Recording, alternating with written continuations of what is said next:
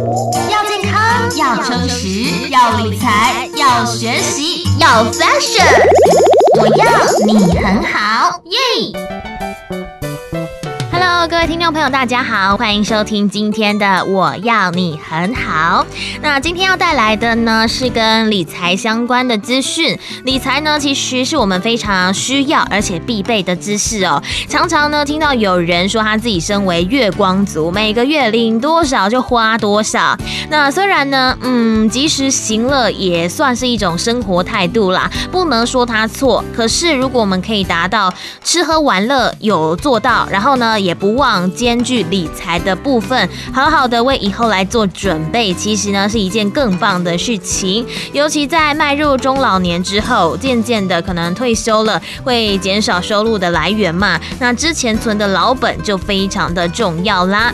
那今天我们首先呢要跟大家谈的是年金的问题，国民年金、老人年金，你是不是也跟 Miko 一样，就觉得，哎，到底是怎样傻傻分不清楚？那其实呢，今天之前。你可以分不清楚没有关系，但是今天一定要弄懂哦，因为这个是跟我们切身相关的事情啦，不要再置身事外了。那我们今天节目上面邀请到的是台南市社会局社会救助科的黄督导，以及国民年金服务员年小姐来到我们节目上，跟我们细聊这个部分的话题。欢迎，Miko 好，各位观众大家好，，Miko 好，各位听众朋友大家好，我是黄督导。刚刚我在跟年小姐还有黄督导就是。稍微小聊一下之后，才发现呢，原来老人年金它其实是涵盖在国民年金里面的其中一块耶。以前我都以为他们好像是哎两个不一样的分开的，就可能听到新闻啊、报章杂志在讲啊，就是也没有说很深的概念这样子。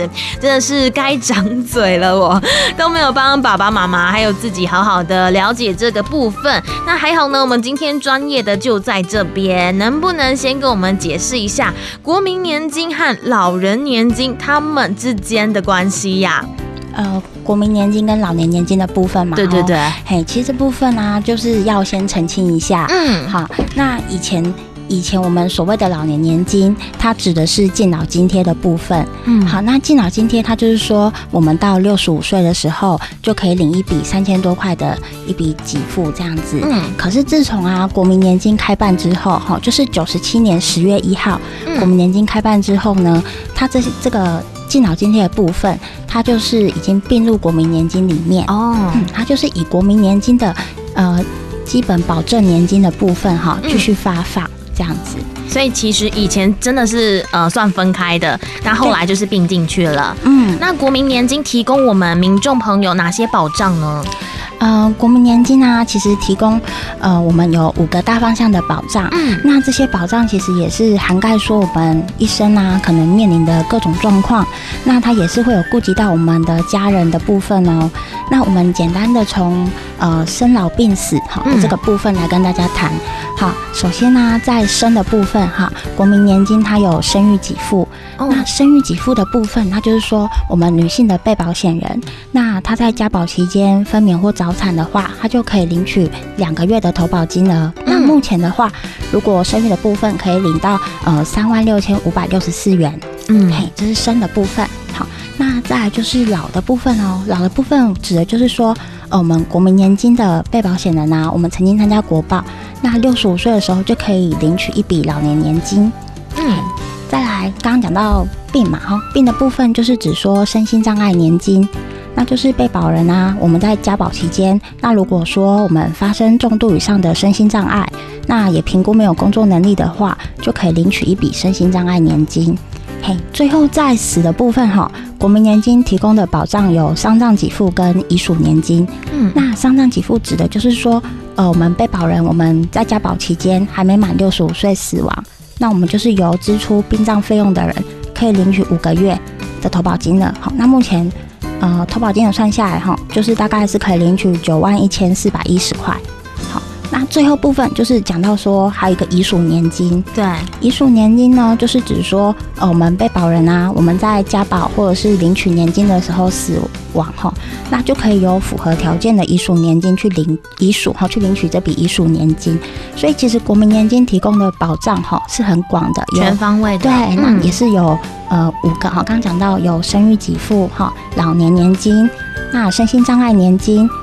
遗属年金跟丧葬给付的五个方向，等于我们人生的生老生老病死阶段都帮我们照顾到了。对，那哪些人才有这个资格去申请国民年金呢？嗯，好，其实国民年金呢，吼，呃，它的纳保资格的部分，就是说我们年满二十五岁到六十五岁的这段期间，那我们没有加入任何的社会保险，那就是国民年金的被保对象。那所谓的社会保险，简单讲就是指说。我们没有加入劳保、公保、军保，然后什么农保、渔保，就是任何保险我们都没有加的时候，那我们就是会是我们国保的对象。那常见的纳保的人哈，有可能是我们二十五岁以上的学生，我们可能还在读硕博士啊，哈，那或者是说我们一般的家庭主妇，嗯，那待业者哈，那还有说我们可能住在海外，可是我们国内还有户籍的人。好，那最后还有两个部分，好，就是我们的受刑人跟替代役，以上这些都有可能是我们国民年金的纳保对象。嗯，而且其实国民年金呢，它是自动纳保的。所以不用主动去申请，没错，劳保局啊就会依照你的资格主动帮你纳保或退保，所以被保险人不用自己去申请。那他会收到什么样的通知吗？他会，如果说是国民年金的对象，就会收到劳保局寄来的那个国民年金的缴费单。嗯，对，就直接寄寄来。那会不会一开始有点一头雾水，不晓得那是什么东西？哦，也有可能会有这样子的状况，可是我们国民那个缴费单上面就会有呃很清楚的条例，对对对，会有相关的资讯这样子。哦，那这个国民年金的话，我们呃被呃这样算被保人，被保险人他一个月要负担多少的费用？啊？这个部分呢，其实呃政府哈已经有补助了哦，因为其实原本国民年金的费用啊。它的投保金额以现在来讲，哈，是一万八千两百二一八二八二一万八千两百八十二块，哈，乘以八趴，所以其实我们原本一个月是要缴一千四百六十三元，好，可是这部分其实政府已经补助我们四成，所以我们被保人目前然后就是我们一个月是缴八百七十八块钱，对，然后它是两个月会寄发一次那个缴款单给你，这样。那缴多久一个期限啊？嗯，它是这样子的，嗯，啊，它是两个月为一期，然后单月底会寄发，那双月底缴纳。好，我举例来说，我们可能是今年啊一七月哈，我们会收到单子，可是七月单子是五六月份的账单，那我们的期限就是在八月底，好，双月底，好，八月三十一号之前做缴纳。哦，那国民年金的这个缴纳是要缴多久呢？是？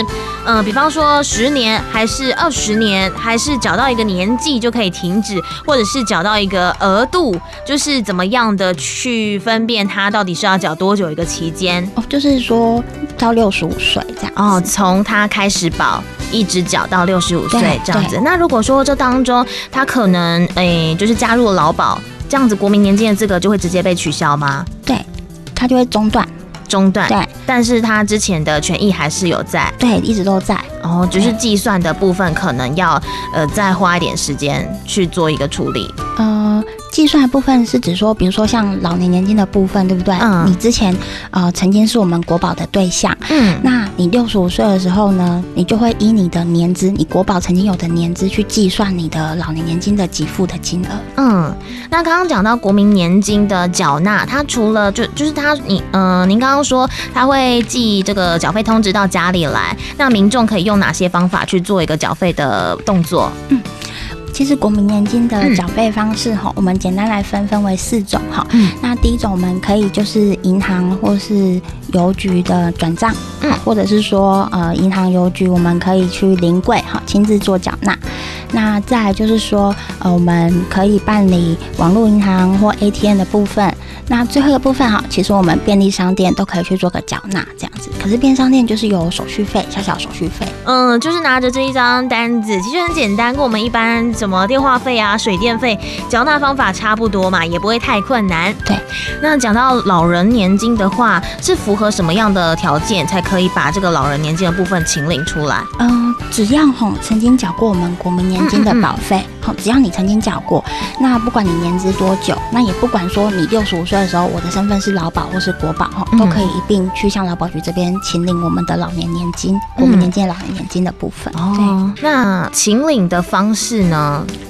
呃，请领方式吗？呃，以老年年金来讲，哈，就是劳保局啊，他会在你满六十五岁的前一个月月底，哈，那会主动寄发通知单跟那个老年给付的申请书，嗯，那就是填妥，就是上面的申请书啊，然后，还有一些可能会要你粘一些金融机构的存折封面，哈，填妥完这些资料之后，就是看你是要，就是可以寄去劳保局的业务处。或者是说，呃，就是亲自送到劳保局各个县市的那个办事处哦，所以我们单位也是会主动的寄发通知的信函，呃，劳保局这边会主动激发，嗯嗯嗯，好的。那如果说我要请领老人年金的话，它会跟其他的社会福利有冲突的关系吗？呃，以国民年金来讲的话，哈，嗯，其实还是，呃，因为我们国民年金老年金的给付有两种算法，哈，有 A 式跟 B 式，嗯，那。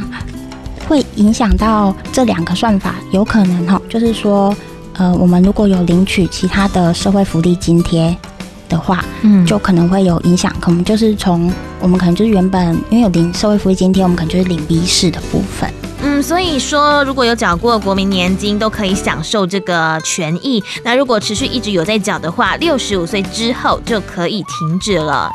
那所谓 A 市和 B 市，它两种算算法嘛，它的差别是什么啊？哦，我们计算方式就是说，嗯嗯嗯，呃，像 A 市啦，哈，我们就是用月投保金额乘以我们的年资，哦，好那再乘以零点六五 percent，嗯嗯，那再加上三千六百二十八，嗯，这是 A 式，嗯，那 B 式的部分呢，我们就是直接用月投保金额乘以我们的年资，那再乘以一点三 percent。嗯，对，所以依照每个人他们的一些状况不一样，他们可能适合不同的方法。对，就是劳保局会依照我们的状况，那也是择优哈，以以最以对我们民众最有利的方式去发起这个老年年金的部分。那民众他需要自己去算吗？因为可能有些民众对于这个部分比较不了解，他可能会觉得说自己还要去算这个东西，会有一点点小麻烦。那我们单位是不是也会帮忙？就是呃，民众就是评估说这两种方法哪一种对你比较有利，然后呢再帮你做一个就是计算的部分。关于这个给付的计算方式，呃，劳保局的网站上面它有那个。自动那个公式哈，大家可以再上去网站那边劳保局哈，劳保局的部分去做试算，或者是说可能在询问劳保局这边好给付的方面这样子。OK，所以呢，Miko 再帮大家做一个贴心的小整理，自以为的贴心小整理。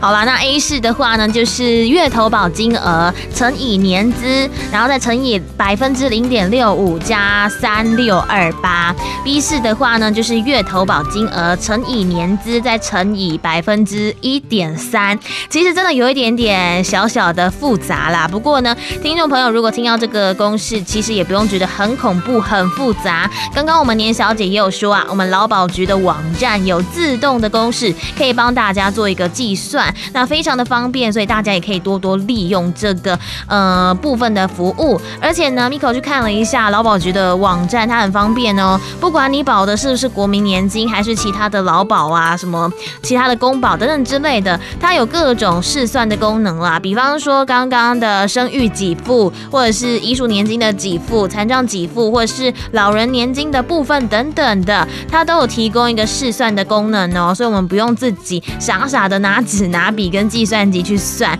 算是一个非常便民的贴心服务。好的，那我们也谢谢年小姐在我们这一段专访当中的分享。其实大家应该对于国民年金都有一定的这个基本观念了，至少呢知道要怎么分辨它是一个什么样的属性，还有它的服务范畴到底有哪些。那我们下一段节目呢继续回来哟。